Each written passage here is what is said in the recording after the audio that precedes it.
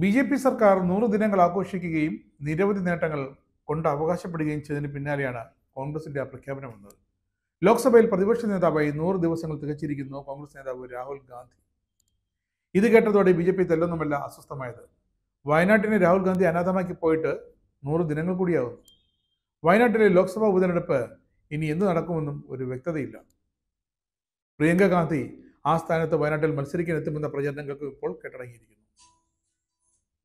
എങ്കിലും വയനാട് കോൺഗ്രസ് തന്നെ എന്നാണ് പ്രതിപക്ഷം ഉറപ്പിച്ചിരിക്കുന്നത്. പ്രിയങ്ക ഗാന്ധി മത്സരിക്കാനില്ലെങ്കിൽ വയനാട് സീറ്റ് വീണ്ടും അവകാശപ്പെടാൻ ഇതാ മുസ്ലിം ലീഗും തയ്യാറായി നിൽക്കുന്നു. ലീഗിന് ഉറപ്പുണ്ട്. വയനാട്ടിൽ സ്ഥാനാർത്ഥി നിർത്തിയാൽ കനത്ത ഭൂരിപക്ഷത്തോടെ തങ്ങൾക്ക് ജയിക്കാനാകുമെന്ന്. പക്ഷേ അതിന് കോൺഗ്രസ് കൂടി സമ്മതിക്കണം. അതാണ് ഇപ്പോൾ ലീഗിന് മുന്നിലെ തടസ്സം. രാഹുൽ ഗാന്ധി രാജിവെച്ച വയനാട് ഇപ്പോൾ ദേശീയ ശ്രദ്ധ നേടിയിരിക്കുകയാണ്. പക്ഷേ തെരഞ്ഞെടുപ്പ് പ്രഖ്യാപിച്ചിട്ടില്ല.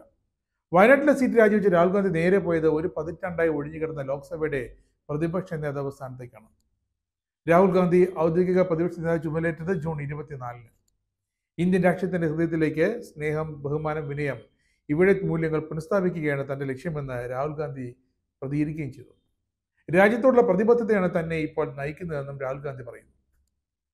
ഔദ്യോഗിക പ്രതിപക്ഷ നേതാവായതോടെ വിവിധ കേന്ദ്ര സമിതികളിലും രാഹുലിന് ക്യാബിനറ്റ് പദവിയുണ്ട് പവറുമുണ്ട്.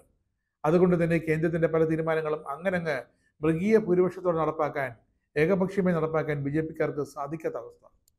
പലതിലും രാഹുൽ തന്റെ സംശയങ്ങൾ ഉയർത്തുന്നുണ്ട്.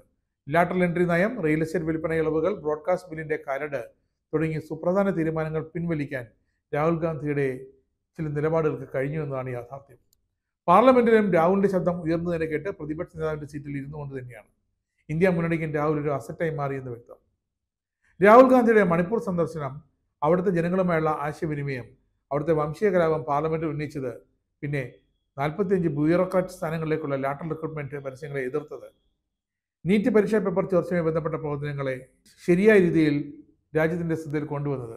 ഇതൊക്കെ ബി ജെ പിക്ക് സഹിക്കാവുന്നതിനും അപ്പുറമാണ്. ഇതാണ് അവസ്ഥയെങ്കിൽ ഇനി അങ്ങോട്ട് രാഹുൽ ഗാന്ധിയെ എത്രമാത്രം ഭയക്കേണ്ടി വരുമെന്ന രീതിയിലാണ് ഇപ്പോൾ ബി ജെ പി അതുകൊണ്ട് തന്നെയാണ് രാഹുൽ ഗാന്ധി ഇപ്പോൾ ഇന്ത്യ മുന്നണിയുടെ നേതാവെന്ന രീതിയിലും പ്രതിപക്ഷ നേതാവെന്ന രീതിയിലും ഇന്ത്യ മുന്നിയെപ്പോലും പോലും ഇപ്പോൾ ബി ജെ പി ഭയക്കുന്നത്. കാരണം കഴിഞ്ഞ ഒന്നാം മോദി സർക്കാരും രണ്ടാം മോദി സർക്കാരും വളരെ ഏകപക്ഷീയമായ തീരുമാനങ്ങൾ ജനങ്ങൾക്ക് മേൽ അടിച്ചേൽപ്പിക്കുന്ന നയമാണ് തുടർന്നുകൊണ്ടുള്ളത്. പത്ത് വർഷത്തിന് ശേഷം രാജ്യനേതാ പ്രതിപക്ഷ നേതാവ് ഉണ്ടായിരിക്കുന്നു. നൂറ് ദിവസം തികച്ചിരിക്കുന്ന പദവിയിൽ. അതുകൊണ്ട് തന്നെ ഇനി മോദി സർക്കാരിന് രാഹുൽ ഗാന്ധിയെയും ഒന്ന് ഭയക്കുക തന്നെ വേണം.